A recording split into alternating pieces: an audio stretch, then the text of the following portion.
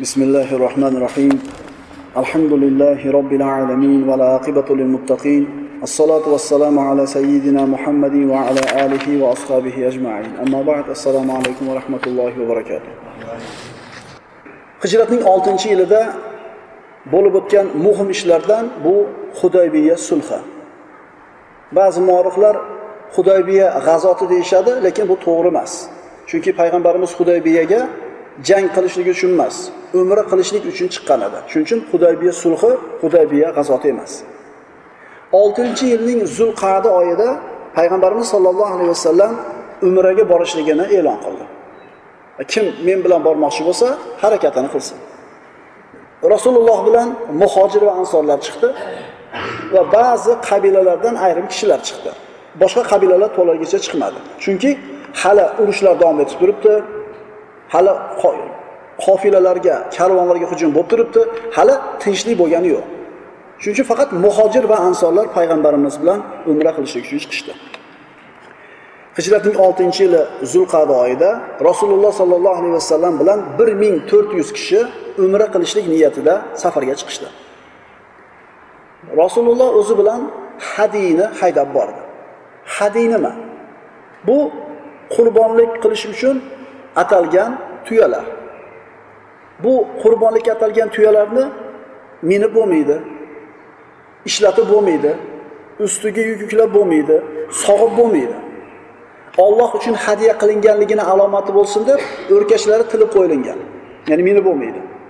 yoki bo'yniga bir qandaydir alomat ilib qo'yilganki belgi, bu bilan qurbonlik uchun ekanligi bilinib turishligi kerak. O'zi bilan payg'ambarimiz 70 ta tuyani Makkaga haydab oldi. Munofiqlar Rasulullohni Makkaga borishlik niyatini eshitganidan keyin aytishdiki, "Vallohi Quraysh Muhammadni o'ldiradi. Makkaga shunday ehrom bilan ketaveradimi? O'zini dushmaniga topshirib qo'yapti-yu" deyishdi. Haqiqatan shunday bo'lishi mumkin edi. Payg'ambarimiz nima qilishlikni o'yladi? Ihrom kiygan kishi, ihromga kirgan kishi qilich ushlab bo'lmaydi, qurol ushlab bo'lmaydi. Qurolsiz borsa, musibatga o'zlarini ro'para qilib qo'yadi. Shuning uchun o'ylandida sahobalarga o'zinglar bilan qurolinglarni olib boringlar, tuyaga yuklanglar dedi. Musulmonlar qurollarini tuyalarni ustiga ortib olishdi. Munofiqlardan bir kishi payg'ambarimiz bilan mana shu safarda birga chiqdi. Bu Jada ibn Qays. Jada ibn Qays. Rasululloh Zulhulayfaga chiqib ihromga kirdi. Zulhulayfa Madina ahlini miqoti. Ya'ni ana shu Zulhulayfaning u yog'iga umra yoki haj qilishlik niyatida chiqqan kishi ihromda o'tishligi kerak. Miqot. Obora Ali deyiladi bu joy yana Zulhulayfa deyiladi. Madinadan 7 mil uzoqlikda joylashgan. Endi ana shu Zulhulayfa bilan Makka o'rtasidagi masofa miqot. Bu hududlar faqatgina ihrom bilan bosib o'tilinadi. Makkaliklarga payg'ambarimiz umra qilish uchun yo'lga chiqqanligi xabar yetib kelganda ular aytishdi, "Vallohi kirishmaydi Makkaga. Bizni ruxsatimizsiz kirishmaydi" dedi. Musulmonlarni Makkaga kirgizmaslik uchun butun boshli bir qo'shinni haram hududiga olib chiqib qo'ydi. Endi haram nima? Haram nima? Mana Ka'batulloh makkani ichida. Ka'ba Baytulloh deyiladi. Endi kabani atrofida shunday bir kenglik mintaqa borki, bu haram deyiladi. Bu haramni hududiga Mino kiradi, Muzdalifa kiradi, Arafot haram hududiga kirmaydi. Haram nima? Bu hal shunday bir muqaddas joyki, bu yerda qon to'kib bo'lmaydi, janjallashib bo'lmaydi, ovqi bo'lmaydi, daraxtni sindirib bo'lmaydi. Endi Quraysh ana shu haramdan tashqariga chiqib kutib turibdi musulmonlarni, tashqaridan kirgizmaslik kerak. Agar haram ichiga kirish bo'lsa, musulmonlar bilan urushib ham bo'lmaydi, ularni haydab chiqarib ham bo'lmaydi. Endi haramni ichiga kirganda qo'qqis o'ldiradigan bo'lsa jang qilib, butun arablar Qurayshni yomonlaydi. Chunki johiliyat davridan boshlab haram hududida qon to'kilmaydi. Bu ayb hisoblanadi. Demak, haram umuman janjallashib bo'lmaydigan mana shunday bir muqaddas joy edi. Mana shu sababdan Quraysh haramga musulmonlarni kirgizishni xohlamadi. Rasululloh safarini davom ettirdi. Qurashning ayrim sayyidlari haramni tashqarisiga qo'shini bilan chiqdi, lekin Abu Sufyon o'sha paytdagi Qurashning kattasi tashqariga chiqmadi, makkada qoldi. Qo'shin Madinadan keladigan yo'lni to'sib turar ekan, ahdlashdi. Makkaga musulmonlar umraga ham kirmaydi, boshqa narsaga ham kirmaydi. Xolid ibn Valid haram tashqarisida musulmonlarni qo'shin bilan kutib turdi. Rasululloh sollallohu alayhi vasallamga bishir ibn Sufyon al-Kalbi keldida, yo Rasululloh, Quraysh sizni Makkaga kirgizmaslik uchun yo'lingizga qo'shin bilan chiqdi. Yo'lbars terilarini kiyishdi ustiga. Yo'lbars terilarini kiyishdi. Bu degani Quraysh faqat urushaman deb borganda qiladigan ishi edi bu. Unaqa bir sulh kelishuv emas. Faqat jang qilamiz deb chiqqandagina yo'lbars teridan bo'lgan kiyimlarni kiyib chiqishadi. Payg'ambarimiz bu xabarni eshitib, "Ya vayha Quraysh, ya vayha Quraysh, ma darrahum law tarakuni." fa in intasartu fa izzi izzuhum fa in qutiltu fa huwa ma yuridun ey quraysh meni xoli qo'ysa bo'lmaydimi agar men yengsam mening izzatim ularning ham izzati-ku agar meni o'ldirishsa bu ular xohlagan narsa-ku ya'ni qurash nima uchun o'jarlik qiladi meni xoli qo'ysin odamlarga dinni yetkazay agar yengsam meni izzatim qurashni izzati. Men ham qurashdanman agar boshqa qabilalar meni qatl qilsa bu qurayshlar o'zi xohlayotgan narsadir. So'ngra payg'ambarimiz sahobalarga qarab meni ularning orqa tomoniga boshqa yo'li bilan olib o'tadigan biron kishi bormi dedi. Birorta odam bormiki bizni kutib turgan qo'shinda aylanib orqasiga o'tib oladi o'tkazib qo'yadigan. Shunda sahobalardan men dedi. Bir kishi payg'ambarimiz boshlaydi. Bu kishi haqiqatdan bir tor, o'tishlik qiyin bo'lgan og'ir mashaqqatli yo'ldan boshlab bordi. 1400 odam juda qiyinchiligi bilan yurdi. Lekin aytganidek Quraysh qo'shinini aylanib orqa tomoniga o'tishib oldi. Musulmonlar qo'shinni orqasiga o'tdi, dushman qo'shinini. Quraysh qo'shini bundan bexabar. Haram hududini belgilashlik uchun arablar bir alomat belgi qo'yib qo'yar edi. Ana shu alomatlar haram hududi ekanligini bildirar edi. Endi hozir musulmonlar shu hududni orqasiga o'tib olsa, haramga kirdi, ularni haydab chiqarib bo'lmaydi. Ana shu haram alomatlariga yetib, bir necha odim, bir necha qadamlar qolganida Rasulullohning tuyasi o'zi to'xtab qoldi. Va Rasululloh cho'ytirmadi, o'zi cho'kib oldi. Rasululloh turgizmoqchi bo'ldi, sahobalar turtishdi, o'rnidan turmadi. Sahobalar, "Ya Rasululloh, bir yomonlik yetdida tuyangizga" dedi. Payg'ambarimiz aytdilar, "Yo'q. Bal habasaha habisul fil." Tuyanma filni to'xtatgan zot to'xtatdi dedi. Abrohani filini kim to'xtatgan edi Ka'bani buzishdan? Va payg'ambarimiz o'zini ashablariga yerga to'xtashga va tushishlikka, joylashlikka buyurdi. Demak, haram hududiga yetdi, kirmasdan tashqarida turishibdi. Musulmonlar to'xtashdi. Sahobalar kelib, "Ya Rasululloh, bizni suv yo'q joyga tushirib qo'ydingiz. Suv bormikin suv bo'lishidan umidimiz bor edi dedi. Sizda ozgina suv qoldi boshqa suv yo'q u suv ham faqat tahoratga yetadi. Payg'ambarimiz shu o'rtada bir quduq bormikin dedi. Ha bor ekan quduq bor ekan faqat qurib qolibdi suvi yo'q dedi. Qayerda u dedi payg'ambarimiz. Ko'rsatishdi rasululloh mana shu o'zidagi ozgina suvni olib bordida shu quduqni ustida turib tahorat qildi. Tahorat suvlari quduqqa tushdi. So'ngra sahobalardan birini qo'liga nayzani berdida tushib yerni kovlang dedi qurigan quduqqa qurigan quduqqa sahobiy tushdi. Nayzani yerga sayishi bilan suv otilib chiqdi. Payg'ambarimiz sallallohu alayhi vasallamning mo'jizalaridan biri mana shu joyda zohir bo'ldi.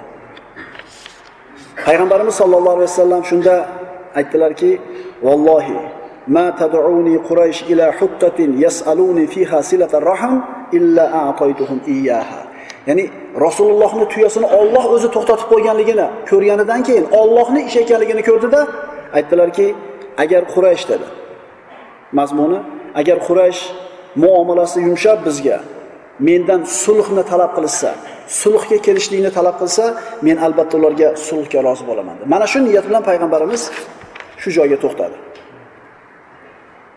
Quraysh askari, Quraysh qo'shini musulmonlarda o'tib ketganligini eshitdi-da, shoshib qoldi. Zudlik bilan orqaga qaytdi-da, musulmonlar ro'parasiga kelib to'xtashdi. Musulmonlarda joylashgan joyini ko'rib hayron bo'lishdi. Niyatini tushunishmadi musulmonlar. Agar umra qilgani kelgan bo'lsa, nimaga haramni ichkarisiga kirmadi? Nima uchun ichkariga kirmadi? Kirishi mumkin edi, to'sqin yo'q edi oldida. Haram tashqarisiga to'xtabdi. O'zi bilan qurolni olib kelibdi. Urushgani keldimi? Unda ehromni nimaga o'radi? musulmonlarni niyatini bilolmasdan Quraysh qo'shini hayron bo'ldi. Endi musulmonlar nima niyatda kelganligini bilishligi uchun Quraysh qo'shini payg'ambarimiz oldiga odam jo'natmoqchi bo'ldi. Bu ikkala qo'shin bir-biriga yaqin joyga to'xtagan, biri ikkinchisini ko'rib turibdi. Budayl ibn Varqoni jo'natdi Quraysh qo'shini. Budal ibn Varqo Xuzoa qabilasidan Makkada uyi bor edi. Shu paytda Makkada edi, uni sen borib Muhammad nima maqsadda kelganligini bilib kel deyishdi. budal ibn Varqo payg'ambarimiz oldiga keldida, "Ey Muhammad, nimaga kelding?" dedi. "Nimani xohlaysan?" dedi. Payg'ambarimiz umra qilgani keldim, mana qurboniyda haydab keldim dedi. "Ey Muhammad, qurollardan nimaga olib kelding bo'lmasa o'zing bilan?" Payg'ambarimiz aytdilarki, "Ey Budayl" dedi. "Men xiyonatdan xavotirdaman" dedi. Ya'ni menga tajovuz qilib, xiyonat qilib hujum qilishsa, men sahobalarim halok bo'lishini xohlamayman dedi. Qarang, musulmon odam ziyrak bo'ladi, xushyor bo'ladi. Ihromga kirgan odam qilich ushlab bo'lmaydi. Payg'ambarimiz sollallohu alayhi vasallam tavakkulchilarni ustozi, eng jasur kishi. Shu zot insoniy sababini qilib qurolini tuyasiga ortib kelyapti. rasulullohni hayotini yaxshi o'rganaylikda har bitta qiladigan ishimizga Rasulullohdan ibrat olamiz. Budayl ibn Varqo payg'ambarimizning so'zlaridan qanoatlandi qurayshni oldiga qaytib bordi. Nima bo'ldi? nimaga olib kelding? Nimaga kelibdi Muhammad? Umra qilgani kelibdi dedi. Qayoqdan bilding dedi. O'zi aytdi dedi. Ya bu dedi, ular uni gapidan qanoatlanishmadi Ikkinchi bo'lib Mikris ibn Habsni yuborishdi. Mikris ibn havs qurashning sayyidlaridan edi. U kelayotganda payg'ambarimiz ko'rdi uni. Aytdi-ku, yaqinida bir-biri o'rtasida. Bu xiyonatkor odam dedi. Ehtiyot bo'linglar bundan dedi. Payg'ambarimiz aytganidek, Mikriz ibn Havs keldi, payg'ambarimiz bilan gaplashmadi. Hech kim bilan bir muloqot qilmadi. Keldi, qurollarga qaradi, tuyalarga qaradi, qaytib ketdi. Nima xabar olib kelding, ey Mikriz? Ish shu narsa dedi. Umra qilgani kelganga ham o'xshayapti, urush qilgani kelganga ham o'xshayapti dedi. tushunib bo'lmaydi dedi.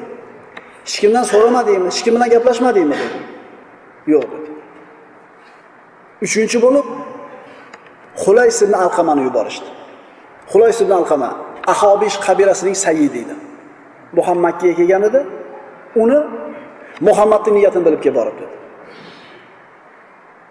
Xulays ibn Alqama kelayotganini ko'rib payg'ambarimiz u Ka'bani ulug'laydigan kishilarni yaxshi ko'radi dedi. Uni oldidan tuyalarni haydaylar dedi.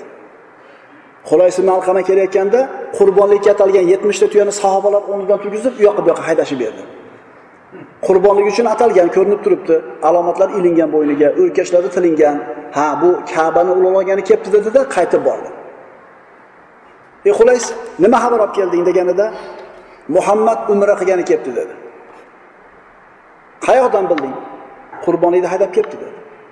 Qurayshni bu Xulaysga bergan javobi qo'pol oldi. sen bir sahroysan, seni ilming yo'q. Uni gapini olishmadi. Shunda payg'ambarimiz aytgandek, bu Ka'bani ulug'laganlarni yaxshi ko'rar edi. Bu javobidan g'azabi kelib aytdiki, "Ey Quraysh, bu narsa uchun sizlar bilan ahdlashgan emasmiz. Ka'bani ulug'lash uchun kelgan kishi Ka'badan to'siladimi? Vallohi agar Muhammadni xoli qo'yib Ka'baga kirishga yo'l bermasanglar, ustinglarga Ahobish qabilasini boshlab kelaman." dedi. Endi Quraysh bilan Ahobish o'rtasida muammo bo'lib turibdi.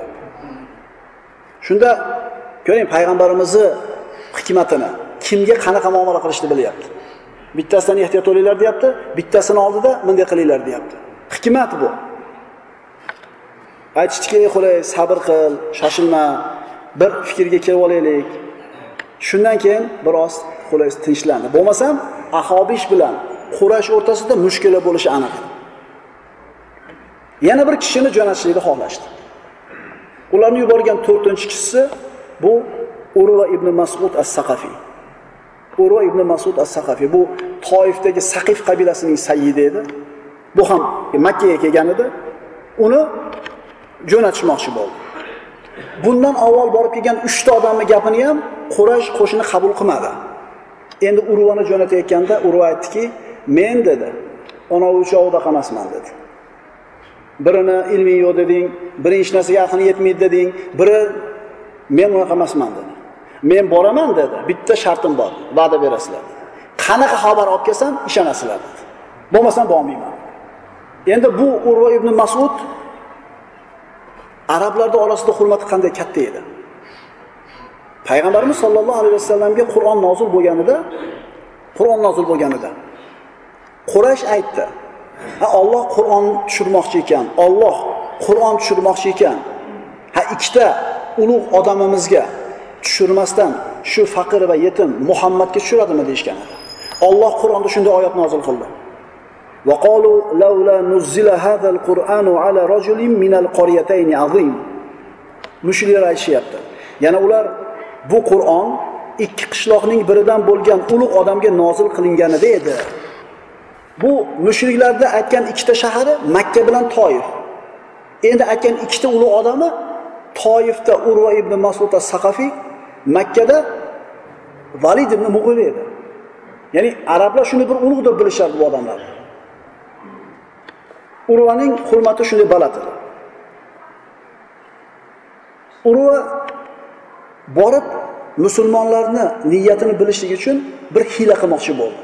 Ya'ni musulmonlarda bir jahlni chiqarsam agar ular urush niyatida kelishgan bo'lsa menga qaytaradigan javobi qattiq bo'ladi. Agar umra qilish uchun kelgan bo'lsa men ularda jahlni chiqarsam ham menga muloyim muomala qilishadi. Mana shu niyat bilan payg'ambarimiz sollallohu alayhi vasallamni oldiga keldi. Urva qilichlari bilan qurollari bilan kelganligi uchun payg'ambarimiz o'zini oldiga xos soqchisini turishlikka buyurdi. Bu mug'ira ibn shuba roziyallohu anhu edi. Mug'ira roziyallohu anhu o'zini qurollarini tayyor qilib ustiga temir liboslarini kiyib yuzlarini to'sgan holda payg'ambarimiz sallallohu alayhi vasallamni yonida turdi. Mug'irat ibn shoba payg'ambarimizni xos qorovuli urvat ibn masudni jiyani bo'lar edi. Ya'ni urva mug'irani amakisi. Lekin jiyani ekanligini ko'rmayapti. Rasululloh sollallohu alayhi vasallam oldiga keldi. Hamda ey muhammad dedi. Makkaga kuch bilan kirgani jang bilan kirgani keldingmi? dedi.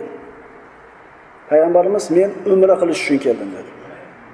So'ngra musulmonlarni g'azabini keltirishlik uchun aytdiki ey muhammad dedi.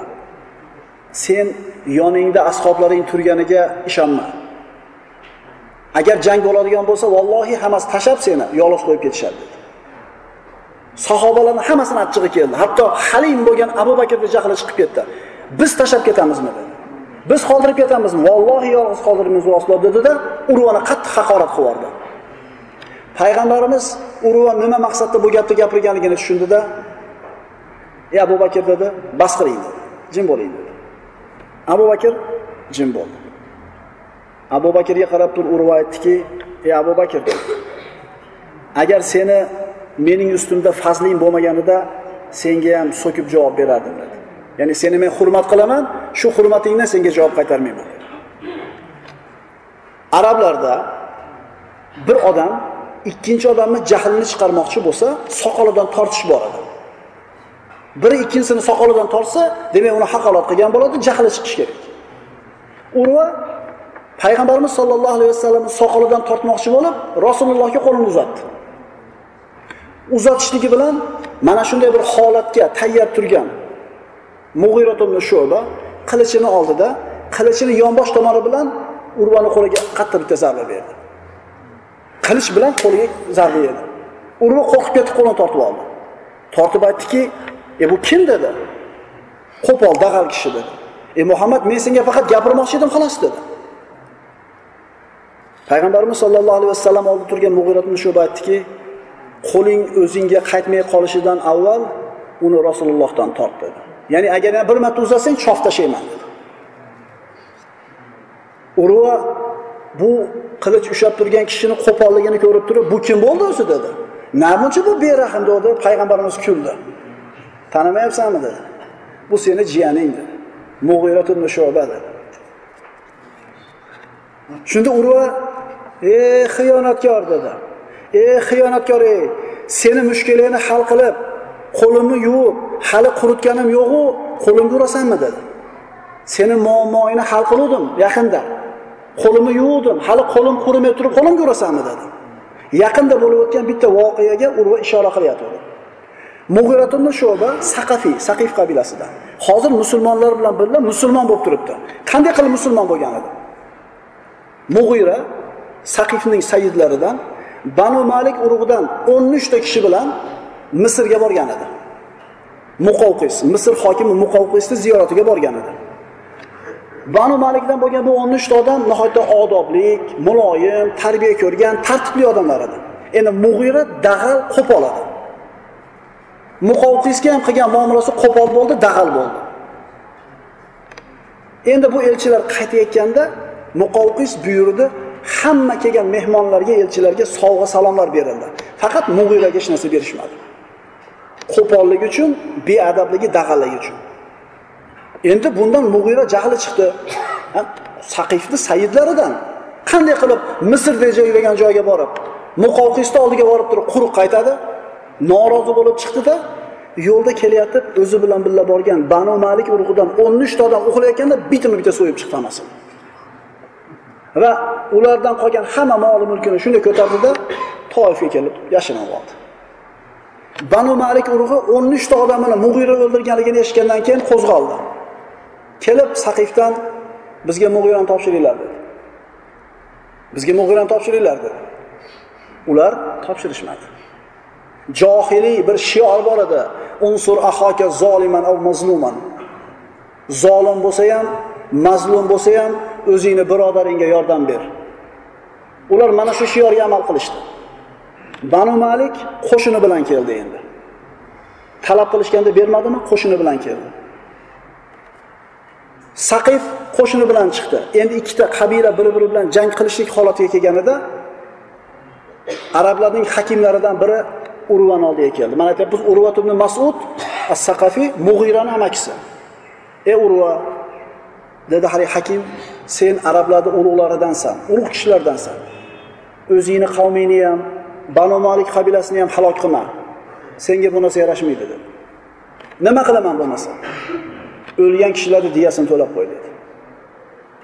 Haqiqatdan shu taklifiga rozi bo'ldi. Banu malik urug'ini diyasini to'ladi shu bilan mushkula hal bo'ldi.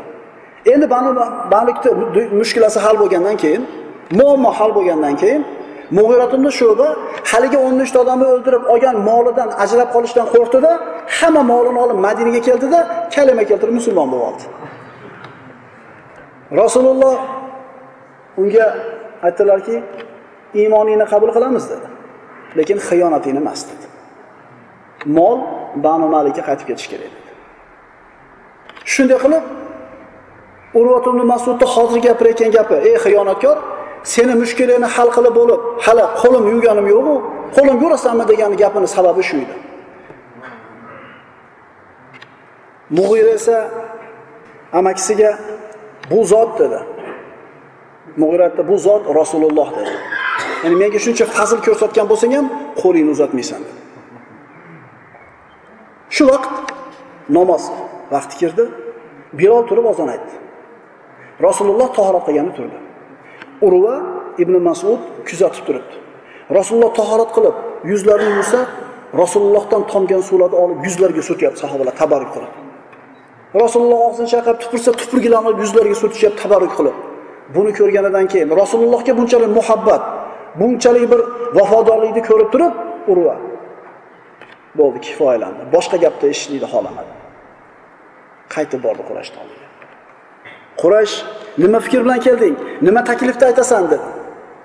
Urva ko'rgan narsalardan bir dahshatga tushgan urva men sizlarga aytaman fikrni dedi. Vallohi men kisroni mulkida turganda ziyoratiga borganman. Hiraqilni mulkida turganda ziyoratiga borib ko'rganman. Najjoshiyni mulkida turganida ziyoratiga borib ko'rganman. Ollohga qasam dedi. Ularning hech biri muhammad o'zining mulkida buyuk bo'lganidek buyuk bo'lgan emas dedi ya'ni bu ata aytilingan podshohlarni hech qaysisini qavmi muhammadni ashoblari muhammadni hurmat qilgandek hurmat qilgan emas dedi agar sizlar musulmonlar bilan urush qilsanglar, ularni hammasini qirib tashlamaguninglarcha Muhammadni sizlarga topshirib qo'ymaydi dedi. Qurash nima maslahat berasan? Urva aytdi, ular bilan sulhga kelishinglar. Sulhga kelishinglar.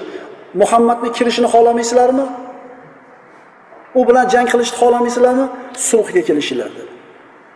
Quraysh qo'shini qanoatlandi, lekin yana ham ishonchliroq bo'lishlik uchun musulmonlardan birortasini asr qilib tutib kelaylikda, bir azoblab so'roqqa tutaylik. Haqiqiy niyatini bilamiz deydi. Tunda 40 ta odamni musulmonlar tomoniga qarab jo'natishdi. Maqsad bitta musulmonni tutib kelish. Bir qozo hojatga chiqdimi, boshqa ishi bilan chiqsa, tutib kelish. Rasululloh hushyor Bir jamoa sahobasiga buyurdi, qurollar bilan tayyor turishdi. Ular kelganda shunday qurshab olishdida, o'zlarini asirga olib qo'yishdi. Bitta odamni asr qilgani kelgan 40 ta odam o'zi asir bo'ldi. Qurayshliklar xabar topib, jangga tayyorgarlikni boshlaganida Rasululloh haligi 40 ta asirga biz urushgani kelmadik. Biz umra qilgani keldik. Ka'ba bilan biz o'rtamizda xoli qo'yiladi deb ularni qo'yib yubordi. Shundan keyin Quraysh musulmonlar umri uchun kelganligiga tamomiy ishonishdi. Chunki agar urush uchun kelgan bo'lganida o'ldirib yuborgan bo'lardi. أقول قولي هذا وأستغفر الله لي ولكم السلام عليكم ورحمة الله وبركاته